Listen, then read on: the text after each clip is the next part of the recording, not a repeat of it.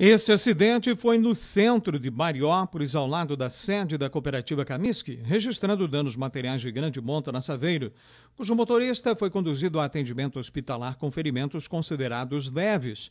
O condutor do caminhão, que registrou danos de pequena monta, não teve ferimentos. A Saveiro estava na via não preferencial.